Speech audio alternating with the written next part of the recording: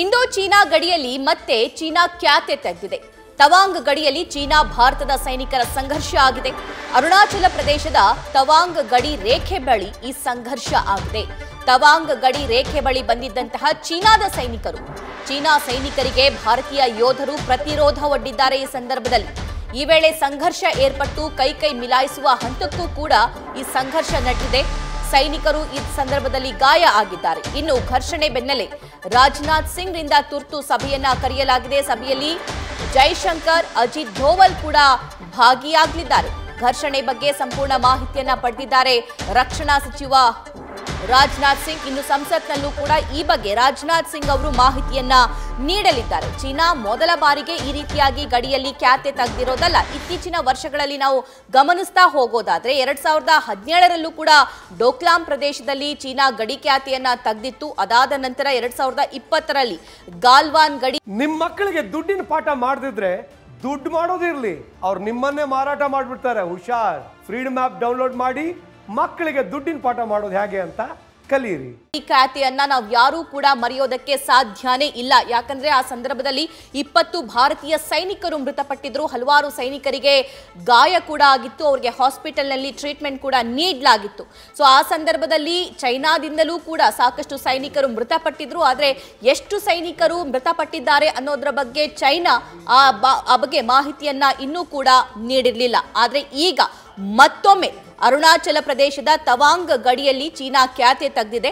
So ಈ ಖ್ಯಾತಿಯಲ್ಲಿ, ಈ ಸಂಘರ್ಷದಲ್ಲಿ ಮೂವತ್ತು ಸೈನಿಕರಿಗೆ ಗಾಯ ಆಗಿದೆ ಅನ್ನುವಂಥ ಮಾಹಿತಿ, ಅದರಲ್ಲಿ ಆರು ಜನ ಭಾರತೀಯ ಸೈನಿಕರು ಅನ್ನುವಂಥ ಮಾಹಿತಿ ಲಭ್ಯವಾಗ್ತಾ ಇದೆ. ಅವರಿಗೆ ಗುವಾಹಟಿಯ ಹಾಸ್ಪಿಟಲ್ಗೆ ಅಡ್ಮಿಟ್ ಮಾಡಲಾಗಿದೆ. ಅಲ್ಲಿ ಚಿಕಿತ್ಸೆಯನ್ನು ಕೂಡ ನೀಡಲಾಗ್ತಾ ಇದೆ. ಮತ್ತೊಂದು ಕಡೆ, ಸಂಸತ್ನಲ್ಲೂ ಕೂಡ ಈ ಬಗ್ಗೆ ರಾಜನಾಥ್ ಸಿಂಗ್ ಅವರು ಮಾಹಿತಿಯನ್ನ ನೀಡಲಿದ್ದಾರೆ. ಈಗಾಗಲೇ ಜೈ ಸಚಿವ ಜೈಶಂಕರ್ ಹಾಗೂ ಅಜಿತ್ ಧೋವಲ್ ಅವರಿಂದ ರಾಜನಾಥ್ ಸಿಂಗ್ ಅವರು ಮಾಹಿತಿಯನ್ನು ಕೂಡ ಪಡೆದಿದ್ದಾರೆ.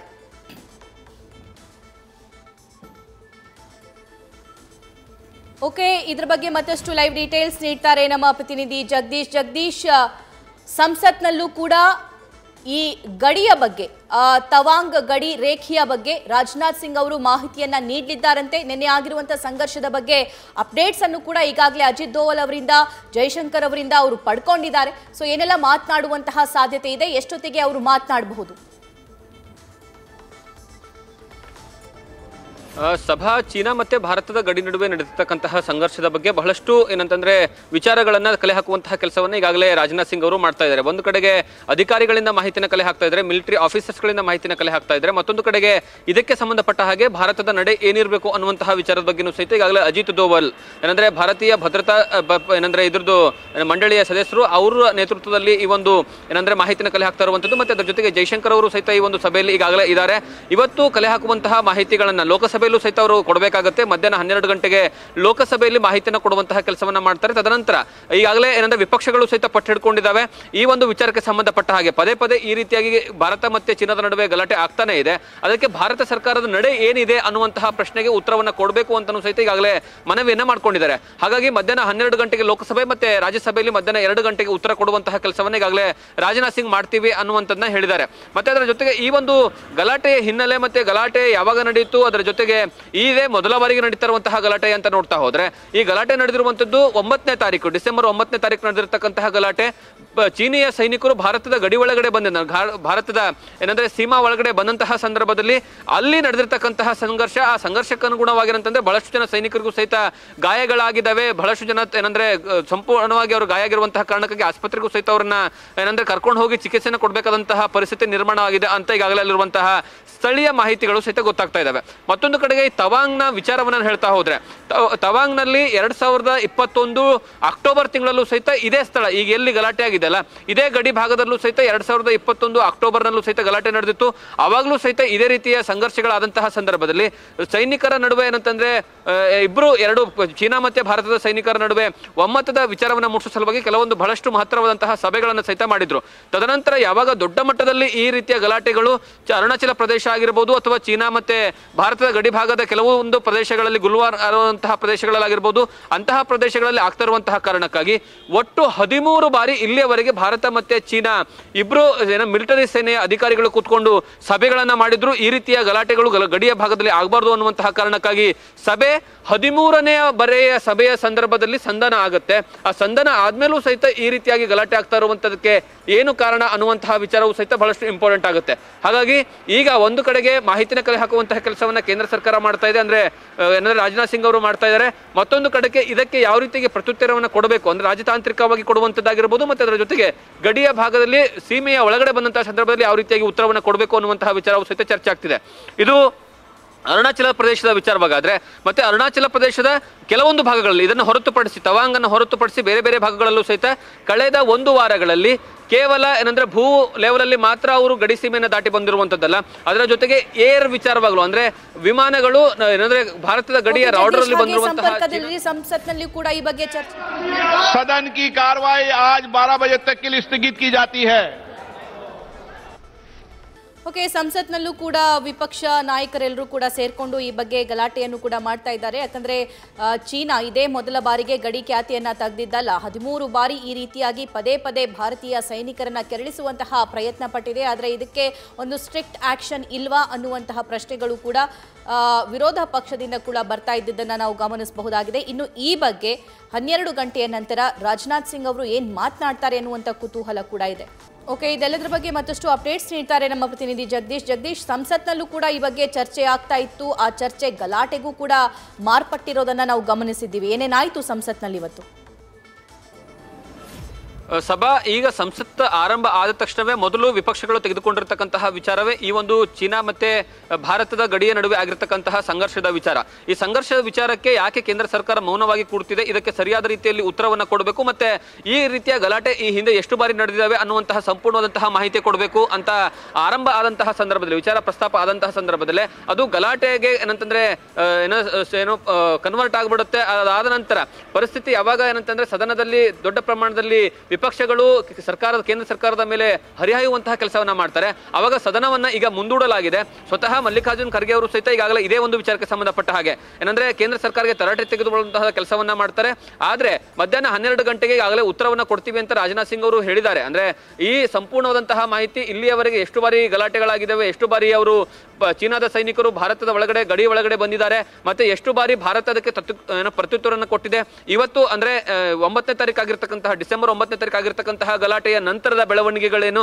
ಆ ಗಲಾಟೆ ಆಗೋದಕ್ಕೆ ಕಾರಣ ಏನು? ಮತ್ತೆ ಅದರ ಜೊತೆಗೆ ಎಷ್ಟು ಏನಂದ್ರೆ ಗಡಿ ಸೀಮೆಯ ಒಳಗಡೆ ಬಂದಿದ್ರು? ಹೀಗೆ ಪ್ರತಿಯೊಂದು ಮಾಹಿತಿಯನ್ನ ಇವತ್ತು ಲೋಕಸಭೆಯಲ್ಲಿ ಕೊಡೋದಕ್ಕೆ ರೆಡಿ ಇದ್ದಾರೆ. ಅಲ್ಲಿವರೆಗೆ ಕಾಯಿರಿ ಅಂತ ಏನಂದ್ರೆ ಸಭಾಪತಿಗಳು ಮನವಿಯನ್ನ ಮಾಡ್ಕೊಂಡಂತಹ ಸಂದರ್ಭದಲ್ಲಿ ಅದು ಆಗದೇ ಇರುವಂತಹ ಕಾರಣಕ್ಕಾಗಿ, ಅಂದ್ರೆ ಮನವಿಯನ್ನ ಏನಂದ್ರೆ ವಿಪಕ್ಷಗಳು ಒಪ್ಕೊಳ್ಳದೇ ಇರುವಂತಹ ಕಾರಣಕ್ಕಾಗಿ ಅದು ಗಲಾಟೆಗೆ ಕನ್ವರ್ಟ್ ಆಗುತ್ತೆ. ಸದನದ ಕಲಾಪ ಏನಂದ್ರೆ ಗದ್ದಲದಮಯ ಆಗಿರುವಂತಹ ಕಾರಣಕ್ಕಾಗಿ ಸದನವನ್ನ ಈಗ ಮುಂದೂಡಿರುವಂತದ್ದು ಸಭಾ.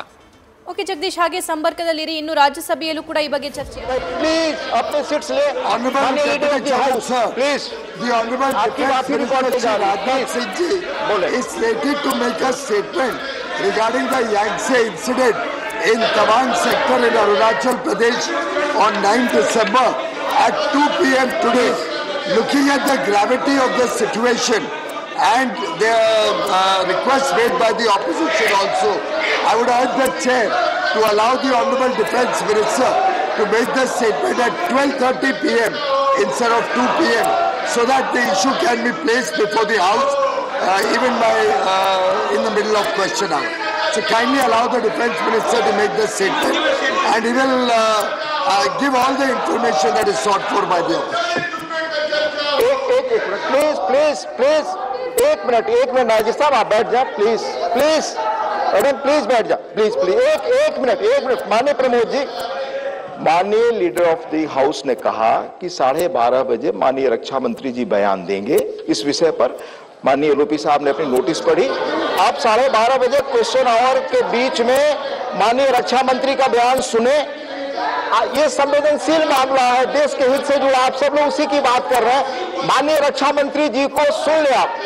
जो माननीय एलओपी साहब की चिंता है, माननीय एलओपी साहब की जो चिंता है, जो सवाल उठा, उस पर ही, उस पर ही माननीय रक्षा मंत्री जी बोलने के लिए आ रहे हैं। साढ़े बारह बजे उनके बयान सुनने का धैर्य कम से कम रखिए। Please please please. साढ़े बारह बजे माननीय रक्षा मंत्री जी इस विषय पर बयान देंगे।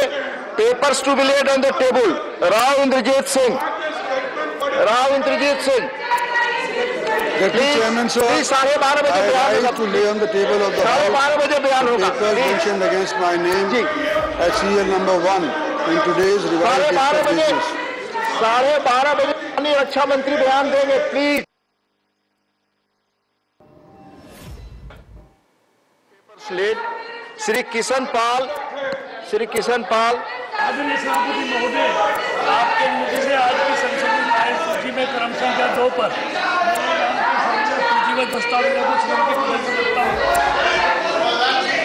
Doctor Bhagwat Karad माननीय माननीय सभापति महोदय, मैं आज की संशोधित कार्यसूची में मेरे सहयोगी श्री पंकज चौधरी जी के नाम के सामने और सीरियल नंबर तीन पर उल्लेखित कागजात आपकी अनुमति से सदन के पटल पर रखता हूँ।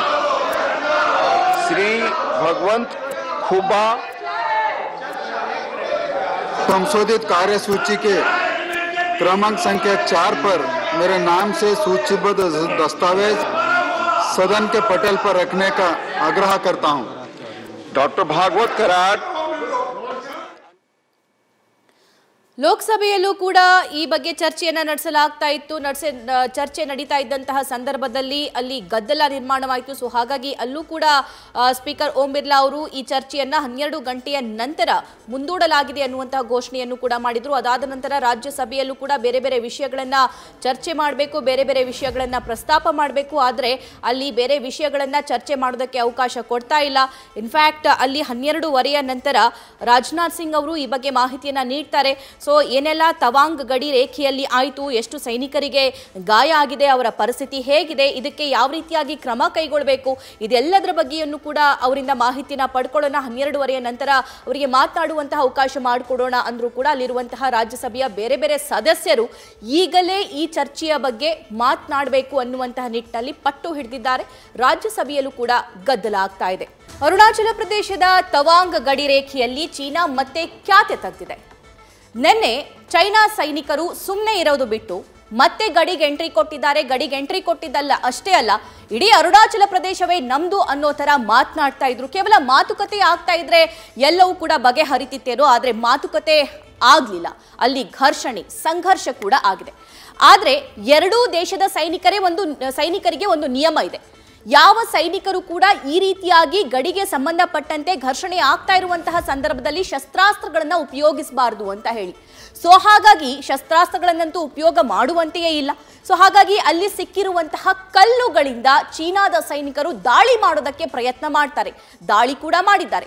ಅದಕ್ಕೆ ಪ್ರತಿ ದಾಳಿಯನ್ನ ಭಾರತೀಯ ಸೈನಿಕರು ಪ್ರತಿರೋಧವನ್ನು ಕೂಡ ಒಡ್ಡಿದ್ದಾರೆ. ಟೋಟಲ್ ಮೂವತ್ತು ಸೈನಿಕರಿಗೆ ಗಾಯ ಆಗಿದೆ. ಅದರಲ್ಲಿ ಆರು ಜನ ಭಾರತೀಯ ಸೈನಿಕರು ಅನ್ನುವಂತ ಮಾಹಿತಿ ಕೂಡ ಲಭ್ಯವಾಗ್ತಾ ಇದೆ. ಅವರಿಗೆ ಗುವಾಹಟಿಯ ಹಾಸ್ಪಿಟಲ್ನಲ್ಲಿ ಟ್ರೀಟ್ಮೆಂಟ್ ಕೂಡ ನೀಡಲಾಗ್ತಾ ಇದೆ. ಇನ್ನು ಚೀನಾದ ಇನ್ನೆಷ್ಟು ಸೈನಿಕರಿಗೆ ಗಾಯ ಆಗಿದೆ ಅನ್ನೋದ್ರ ಬಗ್ಗೆ ಇನ್ನೂ ಚೀನಾ ಸರ್ಕಾರ ಮಾಹಿತಿಯನ್ನ ಕೊಟ್ಟಿಲ್ಲ. ಯಾಕಂದ್ರೆ ಈ ಹಿಂದಿನ ಸಂಘರ್ಷಗಳಲ್ಲೂ ಕೂಡ ಅಲ್ಲಿನ ಸೈನಿಕರು ಮೃತಪಟ್ಟರು ಅಲ್ಲಿನ ಸೈನಿಕರು ಗಾಯಗೊಂಡ್ರು ಕೂಡ ಚೀನಾ ಮಾಹಿತಿ ಕೊಡದೇ ಇದ್ದಿದ್ದನ್ನ ನಾವೆಲ್ಲರೂ ಕೂಡ ಗಮನಿಸಿದ್ದೀವಿ. ಆದ್ರೆ ಇವಾಗ ಎಲ್ಲಿ ಗಲಾಟೆ ಆಗಿದೆ, ಈ ಹಿಂದೆ ಚೀನಾ ಮತ್ತೆ ಎಲ್ಲೆಲ್ಲಿ ಖ್ಯಾತಿ ತೆಗೆದಿತ್ತು ಅಂತ ಮ್ಯಾಪ್ ಮೂಲಕ ತೋರಿಸುವಂತ ಪ್ರಯತ್ನವನ್ನ ನಾವು ಕೂಡ ಮಾಡ್ತಾ ಇದ್ದೀವಿ. ಈ ಎಲ್ ಎ ಸಿ ಲೈನ್ ಅನ್ನ ತಾವೇನ್ ಗಮನಿಸ್ತಾ ಇದ್ದೀರಾ? ಇಲ್ಲಿ ಭೂತಾನ್ ಇದೆ ಇಲ್ಲಿ ನೇಪಾಳ ಇದೆ. ಆದರೆ ಈ ಗಲಾಟೆ ಆಗಿರುವಂಥದ್ದು ಅರುಣಾಚಲ ಪ್ರದೇಶದ ತವಾಂಗ್ ಅನ್ನುವಂತಹ ಗಡಿ ರೇಖೆಯಲ್ಲಿ. ಇಲ್ಲಿ ತಾವೇನು ಗಮನಿಸ್ತಾ ಇದ್ದೀರಲ್ಲ, ಇಲ್ಲಿ ಮಾರ್ಕ್ ಮಾಡಿದ್ದೀವಲ್ಲ, ಸೊ ಇದೇ ಇದೇ ತವಾಂಗ್ ಪ್ರದೇಶದಲ್ಲಿ ಚೀನಾ ನಿನ್ನೆ ಖ್ಯಾತೆ ತೆಗೆದಿರುವಂಥದ್ದು. ಟೋಟಲ್ ಮುನ್ನೂರಕ್ಕೂ ಅಧಿಕ ಜನ ಅಲ್ಲಿ ಚೈನಾದ ಸೈನಿಕರು ದಾಳಿಯನ್ನ ನಡೆಸ್ತಾರೆ. ಇಡೀ ಅರುಣಾಚಲ ಪ್ರದೇಶವೇ ನಮ್ದು ಅನ್ನೋ ರೀತಿ ಅವರು ಮಾತನಾಡೋದಕ್ಕೆ ಶುರು ಮಾಡ್ತಾರೆ. ಆ ಮಾತು ಸಂಘರ್ಷದ ರೂಪವನ್ನು ಕೂಡ ಪಡೆದುಕೊಳ್ಳುತ್ತೆ. ಆದರೆ ಅಲ್ಲಿ ಯಾವ ಶಸ್ತ್ರಾಸ್ತ್ರಗಳನ್ನು ಕೂಡ ಉಪಯೋಗ ಮಾಡುವಂತಿಲ್ಲ. ಸೊ ಹಾಗಾಗಿ ಶಸ್ತ್ರಾಸ್ತ್ರಗಳನ್ನು ಆ ಸಂದರ್ಭದಲ್ಲಿ ಉಪಯೋಗ ಮಾಡಿಲ್ಲ. ಅಲ್ಲೇ ಸಿಕ್ಕಿರುವಂತಹ ಕಲ್ಲುಗಳಿಂದ ಪ್ರತಿ ದಾಳಿಯನ್ನ ಭಾರತೀಯ ಸೈನಿಕರು ಕೂಡ ಮಾಡಿದ್ದಾರೆ. ಆದರೆ ಇಲ್ಲಿ ಕಂಪ್ಲೀಟ್ ತೋರಿಸುವಂತಹ ಪ್ರಯತ್ನವನ್ನು ಕೂಡ ಮಾಡ್ತೀವಿ. ಇನ್ನು ಎರಡ್ ಸಾವಿರದ ಹದಿನೇಳರಲ್ಲಿ ಡೋಕ್ಲಾಮ್ ಗಡಿ ವಿವಾದ ಕೂಡ ಆಗಿತ್ತು. ಆಗ್ಲೂ ಕೂಡ ಈ ಚೀನಾ ಸೈನಿಕರು ಸುಮ್ಮನೆ ಇರದೆ ಖ್ಯಾತಿ ತೆಗೆದೆ ಡೋಕ್ಲಾಂನಲ್ಲೂ ಕೂಡ ಅವರು ದಾಳಿಯನ್ನ ನಡೆಸಿದ್ರು. ಅದಷ್ಟೇ ಅಲ್ಲ, ಎರಡ್ ಸಾವಿರದ ಇಪ್ಪತ್ತರಲ್ಲಿ ಗಲ್ವಾನ್ನಲ್ಲಿ ಆಗಿರುವಂತಹ ದಾಳಿ ಈ ಪ್ರದೇಶ ಏನಿದೆ? ಇದು ವಿವಾದಿತ ಪ್ರದೇಶ. ಎರಡ್ ಸಾವಿರದ ಇಪ್ಪತ್ತರಲ್ಲಿ ಗಲ್ವಾನ್ನಲ್ಲೂ ಕೂಡ ದಾಳಿ ಆಗಿತ್ತು. ಗಲ್ವಾನ್ನಲ್ಲೂ ಕೂಡ ಸಂಘರ್ಷ ಆಗಿತ್ತು. ಈ ಸಂಘರ್ಷದಲ್ಲಿ ಇಪ್ಪತ್ತು ಭಾರತೀಯ ಸೈನಿಕರು ಸಾವನ್ನಪ್ಪಿದ್ರು, ಮೃತಪಟ್ಟಿದ್ರು. ತುಂಬಾ ಜನರಿಗೆ ಗಾಯ ಕೂಡ ಆಗಿತ್ತು. ಅವ್ರಿಗೆ ಹಾಸ್ಪಿಟಲ್ನಲ್ಲಿ ಟ್ರೀಟ್ಮೆಂಟ್ ಕೂಡ ನೀಡಲಾಯಿತು. ಆದ್ರೆ ಇಲ್ಲಿ ಹತ್ತಾರು ಜನ ಚೈನಾ ಸೈನಿಕರು ಕೂಡ ಸಾವನ್ನಪ್ಪಿದ್ದಾರೆ ಎನ್ನುವಂತಹ ಮಾಹಿತಿಯನ್ನ ಸ್ವತಃ ಆ, ಸಂಘರ್ಷದಲ್ಲಿ ಪಾಲ್ಗೊಂಡಿದ್ದಂತಹ ಭಾರತೀಯ ಸೈನಿಕರು ಹೇಳ್ತಾ ಇದ್ರು ಕೂಡ, ಭಾರತೀಯ ಅಧಿಕಾರಿಗಳು ಹೇಳ್ತಾ ಇದ್ರು ಕೂಡ ಚೀನಾ ಮಾತ್ರ ಅದನ್ನ ಒಪ್ಕೊಂಡಿರ್ಲಿಲ್ಲ. ಚೀನಾ ಯಾಕೆ ಅದನ್ನ ಒಪ್ಕೊಂಡಿರ್ಲಿಲ್ಲ ಅಂತಂದ್ರೆ ತನ್ನ ವೀಕ್ನೆಸ್ ಬಿಟ್ಟು ಕೊಟ್ಟಂಗಾಗುತ್ತೆ ಅನ್ನುವಂಥ ನಿಟ್ಟಿನಲ್ಲಿ ಆ ಮಾತನ್ನ ಅವರು ಒಪ್ಕೊಂಡಿರ್ಲಿಲ್ಲ. ಆದ್ರೆ ಡಿಸೆಂಬರ್ ಒಂಬತ್ತನೇ ತಾರೀಕಿನಲ್ಲೂ ಕೂಡ ಇದೇ ಪ್ರದೇಶದಲ್ಲಿ, ತವಾಂಗ್ನಲ್ಲೂ ಕೂಡ ದಾಳಿಯನ್ನ ನಡೆಸಿರುತ್ತೆ ಚೀನಾ. ಸಾಲದಕ್ಕೆ ನಿನ್ನೆ ಮತ್ತೆ ಗಡಿ ಖ್ಯಾತಿಯನ್ನ ತೆಗೆದಿದೆ. ಇದೇ ವಿಷಯಕ್ಕೆ ಸಂಬಂಧಪಟ್ಟಂತೆ ರಕ್ಷಣಾ ಸಚಿವರು ಈಗಾಗಲೇ ವಿದೇಶಾಂಗ ಸಚಿವ ಜೈಶಂಕರ್ ಅವರಿಂದ, ರಾಷ್ಟ್ರೀಯ ಭದ್ರತಾ ಸಲಹೆಗಾರ ಅಜಿತ್ ದೋವಲ್ ಅವರಿಂದ ಮಾಹಿತಿಯನ್ನ ಕೂಡ ಪಡೆದಿದ್ದಾರೆ. ಇವತ್ತು ಸಂಸತ್ನಲ್ಲಿ ಆ ಬಗ್ಗೆ ಅವರು ಮಾತನಾಡಬೇಕು ಕೂಡ ಆಗಿದೆ. ಒಂದು ಸ್ವಲ್ಪ ಹೊತ್ತಿನ ಮುಂಚೆ ಈ ಲೋಕಸಭೆ ಹಾಗೂ ರಾಜ್ಯಸಭೆಯಲ್ಲಿ ಏನೆಲ್ಲ ಗದ್ದಲ ಗಲಾಟೆಗಳು ಆಯಿತು ಅಂತ ಕೂಡ ನಾವು ಗಮನಿಸಿದ್ದೀವಿ. ಆದರೆ ಇದು ಡಿಸೆಂಬರ್ ಒಂಬತ್ತಕ್ಕೇನೆ ಶುರುವಾಗಿರುವಂತಹ ಸಂಘರ್ಷ, ನಿನ್ನೆ ಮತ್ತೆ ಖ್ಯಾತಿಯನ್ನ ತೆಗೆದಿರುವಂತಹ ಚೀನಾ.